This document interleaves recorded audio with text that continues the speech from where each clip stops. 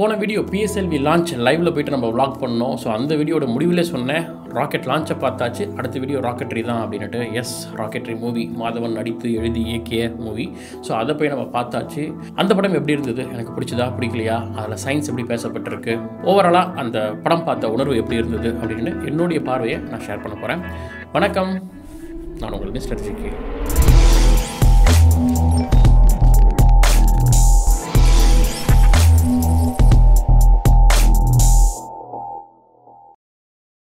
என்னடா அது ஸ்பாய்லர் அலர்ட்லாம் போட்டிருக்கேன் அப்படின்னு பார்த்து பயந்துராதீங்க படத்துடைய கதையோ திரைக்கதையோ இல்லை ட்விஸ்ட்டோ அந்த மாதிரி எந்த ஒரு காட்சியை பற்றி நான் சொல்ல போகிறதில்ல தைரியமாக நீங்கள் பார்க்கலாம். இன்கேஸ் நான் அந்த படத்தை பற்றி ஒன்றுமே கேட்காம நான் வந்து ஃப்ரெஷ்ஷாக பார்க்கணும் அப்படின்னு நினச்சிங்கன்னா கண்டிப்பாக அந்த படத்தை பார்த்துட்டு அப்புறம் அந்த கூட நீங்கள் இந்த வீடியோ பார்க்கலாம். ராக்கெட்ரி இந்த மூவி என்னன்னா நம்பி நாராயணன் அவர்களுடைய வாழ்க்கை வரலாறு பயமாக வச்சு பயோபிக்காக தான் எடுக்கப்பட்டிருக்கு அப்படின்னு நமக்கு தெரியும். ஸோ இந்த படத்தை வந்து ரெண்டாக பிரிச்சுக்கலாம். முதல் பாதி வந்து நம்பி நாராயணன் இஸ்ரோவில் இந்தியாவுக்காக செய்த ஒரு பெரிய சாதனை என்ன அப்படின்னு அவரை பற்றி நமக்கு தெரியாத நிறையா தகவல்கள் இந்த படத்தில் பேசுகிறாங்க செகண்ட் ஹாஃபில் அதனால் அவருக்கு ஏற்பட்ட ட்ராஜடி என்ன?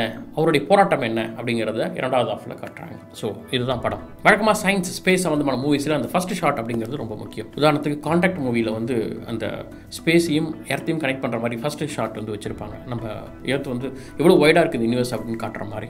அதே மாதிரி இந்த மூவியில் வந்து ஒரு ராக்கெட்டையும் நம்பியும் இணைக்கிற மாதிரி முதல் ஷாட் ஒன்று வச்சுருப்பாங்க. ஸோ ஒரு ஸ்பேஸில் ஒரு ராக்கெட் சவுண்டோட அங்கேருந்து நம்பினாரன் அவர் வீட்டுக்குள்ளே வரைக்கும் வைக்கிற ஒரு ஷாட் அது ரொம்ப நல்லா பண்ணியிருப்பாங்க. ஓப்பனிங்கே வந்து ஓகே அப்படிங்கிற மாதிரி நல்ல ஸ்டார்ட் இருந்தது. ஸ்பேஸ்லேருந்து அந்த ஷாட் எப்படி வீட்டுக்குள்ளே போச்சோ அதேமாரி மெல்ல மெல்ல நம்ம அந்த கதைக்குள்ளே போக ஆரம்பிக்கிறோம். உள்ள இருக்க கேரக்டர்லாம் ஒன்று ஒன்றா இன்ட்ரடியூஸ் ஆகுது. நம்பி அவர்களுடைய குடும்பம் இன்ட்ரடியூஸ் ஆகுது. அப்படியே அவருடைய கதையை ஆரம்பிக்குது. அப்படியே திரைக்கதை மெல்ல மெல்ல நகர ஆரம்பிக்குது. எல்லாரும் சொல்கிறது என்னன்னா ஃபர்ஸ்ட் ஆஃப் வந்து கொஞ்சம் ஸ்லோவாக இருக்குது டாக்குமெண்ட்ரி மாதிரி இருக்குங்கிறாங்க. எஸ் அஃப்கோர்ஸ் இது வந்து கைண்ட் ஆஃப் டாக்குமெண்ட்ரி மாதிரி தான். அவரோட பயோபிக் எடுக்கிறாங்க. அவர் வாழ்க்கையில் என்ன நடக்குது அப்படின்னு சொல்கிறது மோரோவர் இந்த படத்தோடைய பேரே ராக்கெட்ரி அப்படின்னு இருக்கிறதால ராக்கெட்டை பற்றி பேசி ஆகணும். அவர் செய்த சாதனை சொல்லி ஆகணும். டெக்னிக்கலாக ரொம்ப காம்ப்ளெக்ஸாக இருக்க விஷயத்தை கூட கொஞ்சம் சிம்பிளாக எப்படி சொல்லலாம் அப்படின்னு முயற்சி பண்ணியிருக்காரு. எஸ் படத்தில் அவர் சொன்னது சிம்பிள் தான். இன்னும் மோர் காம்ப்ளெக்ஸ் தான் அதில் இருக்கிற விஷயம். பட் முடிஞ்ச வரைக்கும் மாதம் வந்து சிம்பிளாக தான் சொல்லியிருக்காரு அப்படின்னு நினைக்கிறேன். இன்னும் சொல்ல போனால் போர் அடிக்காமல் ரொம்ப நல்லாவே சொல்லியிருக்கிறார். மேபி எனக்கு அறிவியல் ஆர்வம் இருந்ததால் எனக்கு போர் அடிக்காமல் தெரிஞ்சதான்னு தெரியல. பட் எல்லாருமே என்ன சொல்கிறாங்கன்னா லேமனுக்கு அது புரியுமோ புரியாதோ? அவங்களுக்கு மற்றவங்களுக்குலாம் போர் அடிக்குமோ என்னவோ? அப்படின்னு சொல்கிறாங்களே தவிர ஆனால் யாருக்குமே போர் அடிச்சது அப்படின்லாம் சொல்லவே இல்லை. கொஞ்சம் மெதுவான திரைக்கதை இருந்தது அப்படின்னு சொல்கிறாங்க இப்போ தாங்க இந்த திரைக்கதை ஸ்லோவாக போகுது ஃபாஸ்ட்டாக போகுது அப்படிங்கிறதுல ஏன் ஃபாஸ்ட்டாக போகணும்? ஒரு திரைக்கதை ஏன் வேகமாக போயிட்டு இருக்கோம் ரேஸ் கார்லேயே உட்காந்து ஓடிட்டு இருக்கோம்? அப்படிலாம் இல்லை. எங்கே தேவையோ அங்கே ஸ்லோ ஆகலாம். அது மாதிரி இந்த படத்துக்கு ஸ்லோவாக தேவைப்படுது. முதல் பாதி அதை வந்து ஸ்லோவாக தான் நகர்த்திருக்கார். பட் இன்ட்ரெஸ்டிங்காக இருந்தது. ஸ்லோவாக இருக்குன்னா இன்ட்ரெஸ்டிங்காக இல்லைன்னு அர்த்தம் கிடையாது. ரொம்ப இன்ட்ரெஸ்டிங்காக இருந்தது. நம்பினாரனுடைய கதையை வந்து மாதவன் படம் எடுக்க போகிறார் அப்படின்னு கேள்விப்பட்ட உடனே நம்பினாரன் நிறைய இன்டர்வியூவில் வந்து பேசினார்? அவருடைய கதையெல்லாம் சொன்னாங்க. பட் அதையும் தாண்டி இந்த படத்தில் நிறைய புது விஷயங்கள் இருக்குது ஓ நம்பி இதெல்லாம் செஞ்சாரா? அப்படிங்கிற மாதிரி நிறைய புது புது விஷயங்களை நல்லா விஷுவல் பண்ணியிருக்காங்க. அவர் வந்து எதுக்காக யூஎஸ் போனார்? எதுக்காக ஃப்ரான்ஸ் போனார்? அங்கே போய் அவர் செஞ்சது என்ன? அப்படிங்கிறதுலாம் உண்மையாகவே ஒரு திரைப்படத்தில் காட்டுற அளவுக்கு பிரம்மாண்டம். திரைப்படத்தில் காட்டுற அளவுக்கு வந்து சுவாரஸ்யம்லாம் அந்த கதையில் இருந்திருக்கு. அது அழகாகவே மாதவன் காட்சிப்படுத்தியிருக்கிறார். இதில் நான் ரசித்த விஷயம் என்னென்னா தமிழ் சினிமாவில் விஞ்ஞானிகளை வந்து இவ்வளோ அழகாக காட்டினது வந்து அப்துல் கலாம் விக்ரம் சாராபாய் சதீஷ் தவான் இந்த மாதிரி நிறைய முக்கியமான விஞ்ஞானிகளை வந்து தமிழ் படத்தில் பார்க்கறது அவங்க பேசுகிற உரையாடுற மாதிரி காட்சிகள் இருக்கிறது ரொம்ப ஆச்சரியமாக இருந்தது.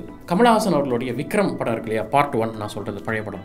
அதில் கூட பார்த்தீங்கன்னா ஏன் அந்த படத்துக்கு முக்கியமாக விக்ரம் அப்படிங்கிற பேர் வந்துச்சுன்னா விக்ரம் சாராபாய் அவரை இன்ஸ்பயர் பண்ணி தான் ராக்கெட் அந்த படத்தில் வரும் ராக்கெட் சயின்ஸ் ஸோ இதை கனெக்ட் பண்ணி தான் அந்த படத்தில் அந்த கேரக்டருக்கு விக்ரம் அப்படிங்கிற பேர் வச்சிருப்பாங்க. அப்படி கமல்ஹாசன் இன்ட்ரடியூஸ் பண்ணாலும் விக்ரம் சாராபாய் இஸ்ரோ பற்றிலாம் நமக்கு அந்த டைமில் பெருசாக தெரியல. ஆனால் இந்த படத்தில் விக்ரம் சாராபாய் இஸ்ரோவுக்கு எவ்வளோ முக்கியமான ஆள்? அவர் தான் அடித்தளம் போட்டவர் இல்லையா? அது சதீஷ் தவான். இப்போ கூட நம்ம போன வீடியோ பிஎஸ்ஐவி லான்ச் போய் பார்த்தது சதீஷ் தவான் ஸ்பேஸ் சென்டர் ஏன் அந்த இடத்துக்கு சதீஷ் தவான் பேர் வச்சாங்கன்னா அவருடைய பங்கு என்ன இஸ்ரோவில் அப்படிங்கிறதும்.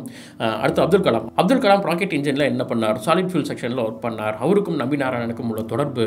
இப்படி இந்தியாவுடைய மிக முக்கியமான விஞ்ஞானிகளை வந்து அழகாக சில காட்சிகளில் திரைக்கதையில் கொண்டு வந்தது வந்து ரொம்ப நல்ல விஷயம். இது மட்டும் இல்லாமல் அமெரிக்காவில் இருக்க நாசா விஞ்ஞானிகளாக இருக்கட்டும் ரஷ்ய விஞ்ஞானிகள் பிரான்ஸ் விஞ்ஞானிகள் அவங்களுக்குள்ள இருக்கிற டிஃப்ரென்சஸ் இதெல்லாம் கூட காட்டுறது. நீல் ஆம்ஸ்டாங்க போயிட்டு நம்பி நாராயணன் மீட் பண்ண அந்த காட்சியை வைக்கிறது. இப்படின்னு சொல்லிட்டு படம் முழுக்க அறிவியல் சார்ந்த ஆர்வலர்களுக்கு ஒரு பெரிய ட்ரீட் இருக்குன்ற மாதிரி ரொம்ப நல்லா இருந்தது.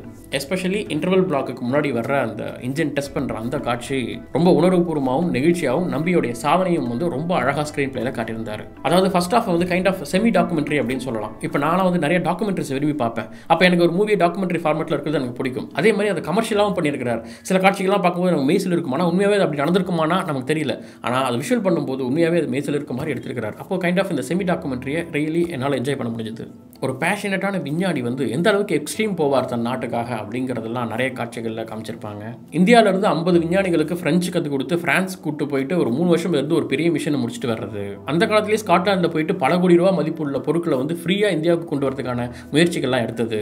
ரஷ்யாவுடைய மோசமான காலகட்டத்தில் கூட அங்கே போயிட்டு உயிரியும் பணையம் வச்சு அங்கேருந்து தொழில்நுட்பத்தை எப்படி நம்ம இந்தியாவுக்கு கொண்டு வரதுன்னு நிறைய விஷயங்களை வந்து ஒரு ஆக்ஷன் த்ரில்லர் படத்துக்கு தேவையான விஷயங்களை வந்து அவர் தன் வாழ்நாளில் செஞ்சிருக்கார் அப்படிங்கிறது இந்த படம் பார்க்கும்போது தான் தெரியுது. பல கோடி ரூபா கொடுத்து அழைத்த நாசாவுடைய அழைப்பையும் ஓரம் தள்ளிட்டு உயிரை பணையம் வச்சு இவ்வளோ பெரிய சாகசம்லாம் செஞ்சு நம்ம இஸ்ரோவுடைய முதுகெலும்பாக அமைஞ்ச இந்த விகாஸ் அப்படின்னு சொல்லக்கூடிய அந்த இன்ஜின் அவர் வந்து கண்டுபிடிக்கிறார். இவ்வளோ பெரிய விஷயங்களை செஞ்ச அவருக்கு இந்தியா திரும்பி கொடுத்தது என்ன?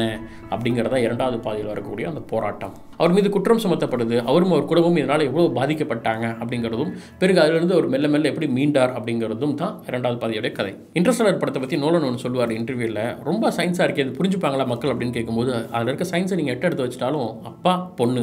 பிரிஞ்சு போகிறவங்க திரும்ப சேருவாங்களா அப்படிங்கிறதான் கதை. அது எமோஷனலாக இருக்கும். அது புரிஞ்சால் போதும் அப்படின்வார் அந்த மாதிரி ஃபஸ்ட் ஆஃபில் வரக்கூடிய அறிவியல் விஷயங்கள் அந்த ராக்கெட் சம்மந்தமான விஷயங்கள் நிறைய புரியுதோ புரியலையோ அவங்க சொல்ல வர்றது என்னென்னா அவ்வளோ காம்ப்ளெக்ஸான விஷயம் அது. அதை அவர் சால்வ் பண்ணியிருக்கார் ஸோ உங்களுக்கு புரியலனா கூட அந்த காம்ப்ளெக்சிட்டின்னு ஒன்று இருக்குப்பா. அதை அவர் சால்வ் பண்ணி ஒரு பெரிய சாதனை பண்ணார் அப்படின்ற அளவுக்கு புரிஞ்சால் போதும். அதுபோல் ஃபர்ஸ்ட் ஆஃப் உங்களுக்கு புரியலனா கூட செகண்ட் ஆஃபில் இவ்வளோ பெரிய சாதனை செஞ்சவருக்கு நடந்த ட்ராஜடி என்ன? அவங்க குடும்பம் எப்படி பாதிக்கப்பட்டது அப்படிங்கிற அந்த கதையில் போகும்போது கண்டிப்பாக உங்களால் மிங்கிள் பண்ணிக்க முடியும். இதை நான் தேட்டர்லேயே பார்த்தேன். சாதனை செய்யும்போது கைத்தட்டுகளும் அவர் அவர் வந்து சோதனைக்கு உள்ளாகும் போது கண்ணீர் இங்கே வரதையும் நல்லா பார்க்க முடிஞ்சது. அந்த வகையில் மாதன் வந்து இதை சரியாக கிடைச்சிருக்கிறார் எமோஷன்ஸ் அப்படின்னு சொல்லலாம். ஓகே டேரக்ஷன் இந்த பாயிண்ட் ஆஃப் வியூவில் பார்க்கும்போது இது வந்து ஒரு இயக்குனருடைய முதல் படம் அப்படின்னு சொல்ல முடியாத அளவுக்கு ரொம்ப நேர்த்தியாக இயக்கியிருக்கிறார். உள்ள இருக்கிற வசனங்கள் கூட அவரே எழுதியிருக்கிறார். ரொம்ப காம்ப்ளெக்ஸான விஷயங்களை பேசும்போது கூட எளிமையான வசனங்களை போட்டு அந்த இடத்த அழகாக நம்ம நகர்த்தி கொண்டு போகிறார் மாதவனுடைய சினிமா கரியரில் பார்த்தீங்கன்னா மணிரத்னத்திலிருந்து லிங்குசாமி வரைக்கும் பல கதைகளை அவர் வந்து தேர்ந்தெடுத்து பல விதமாக நடிச்சிருக்கிறார். ஆனால் அவர் டைரக்ட் பண்ணணும் போது ஸோ அவர் டைரக்ட் பண்ணும்போது என்ன மாதிரியான கதை எடுக்கணும்னு ஒன்று சூஸ் பண்ணியிருக்கிறார் இல்லையா? ஸோ அங்கேயே அவர் நிற்கிறார்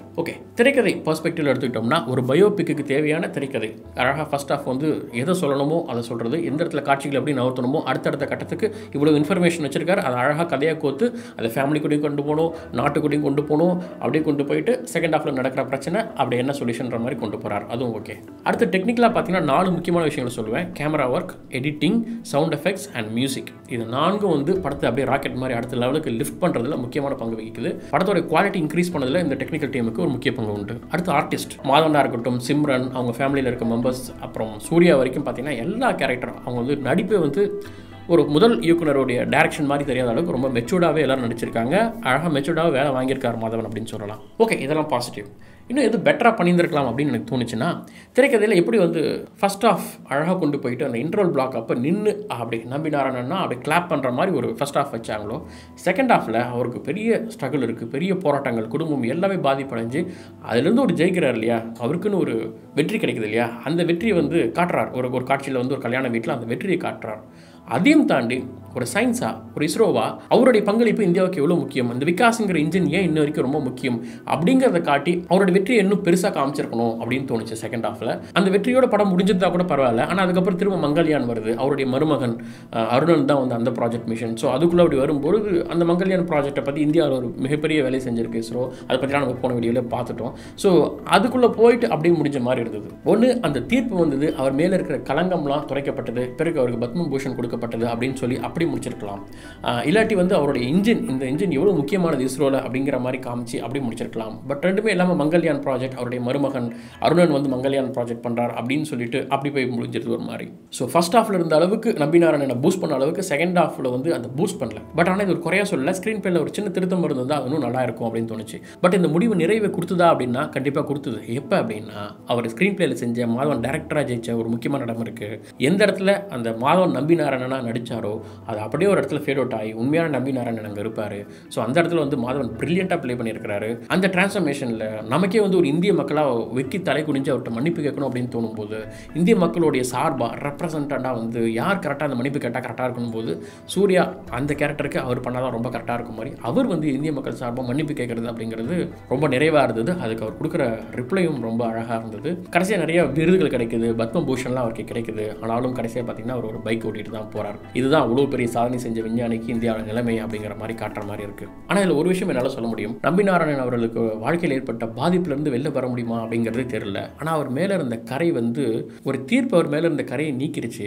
அவர் மேலே குற்றம் சாட்டப்பட்ட போது வந்த ஆயிரக்கணக்கான செய்திகள் அவர் மேலே நல்ல தீர்ப்பு வரும்போது கம்மியான செய்திகள் தான் வந்துச்சு. அது மக்கள்கிட்ட போய் சேரல. ஆனால் இன்றைக்கி அது ஒரு படமாக எடுக்கும்பொழுது நம்பிநாராயணன் நேரில் பார்க்கும்போதும் அவங்க குடும்பத்தார் நேரில் பார்க்கும்போதும் அவருக்கு பத்மபூஷன் கொடுத்தது கூட நிறைய மக்களுக்கு தெரியாது. ஆனால் அது இன்றைக்கி நிறைய மக்கள்கிட்ட கொண்டு போய் இவர் இப்படிப்பட்டவர் அப்படிங்கிறத மாதவன் கொண்டு போய் மக்கள்கிட்ட சேர்த்தது இருக்கு இல்லையா? பத்மபூஷனோட மிக முக்கியமான வேலையாக நான் பார்க்குறேன். அந்த வகையில் மாதவனுக்கு வாழ்த்துக்கள். ஸோ ஓவராலாக என்ன கேட்டிங்கன்னா மிக நல்ல படம் நேர்த்தியாக எடுக்கப்பட்டிருக்கு. எனக்கு பிடிச்சிருந்தது எந்த இடத்துலையும் போர் அடிக்கலை. நீங்கள் உங்கள் குடும்பத்தோட உங்கள் வீட்டில் சிறுவர்கள் இருந்தாங்கன்னா எல்லாரும் கொண்டு போய் பார்க்க வேண்டிய திரைப்படம். டைரக்டர் மாதவனுக்கு இது ஒரு நல்ல துவக்கம். அடுத்தடுத்த அவர்கிட்ட இருந்து ஒரு நல்ல படங்களை எதிர்பார்க்கலாம். இவ்வளோ பெரிய சூழல் இருக்கக்கூடிய இன்ஜின் சம்பந்தமான ஒரு டிபார்ட்மெண்ட்டை ஒரு விஞ்ஞானியுடைய ஒரு கதை தான் இது மாதிரி எக்கச்சக்கமான டிபார்ட்மெண்ட்ஸ் இருக்குது கம்யூனிகேஷன் அது இது ஒவ்வொன்றுலையும் பரப்பர இன்ஜினியர்ஸ் வேலை செஞ்சுருக்காங்க. பெரிய பெரிய சாதனை பண்ணியிருக்கிறாங்க. அதெல்லாம் வெளில கொண்டு வரணும். ஒருவேளை இந்த படம் பேசலி லான்ச்சுக்கு முன்னாடி வந்திருந்து நான் பார்த்துட்டு அதுக்கப்புறம் பேசலி லான்ச்சை பார்த்துருந்தா இன்னும் நிகழ்ச்சியாக இருந்திருக்குமோ என்னவோ. Anyway it's a good movie இன்னும் நிறைய சுவாரஸ்யமான விஷயங்கள் தெரிஞ்சு கொண்டிருக்கு இருக்குது தொடர்ந்து இணைந்திருங்கள் மிஸ்டர் ஜேகேவுடன் நன்றி.